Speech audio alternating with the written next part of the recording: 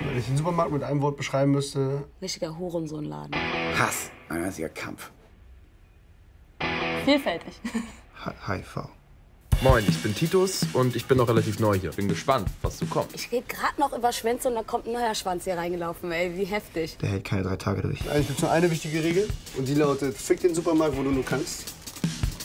Alter, los, komm. Also da ist auch bei mir dann ein Schluss. Ne? Also als Ladendetektiv kannst du ihn völlig vergessen. Er ist nicht lebensfähig.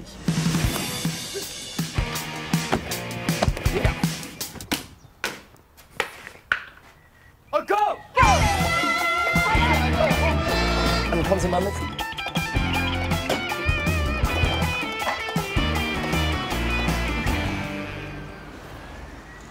Wer fährt mit so einem Ding rum, Alter? Richtiger Spasti.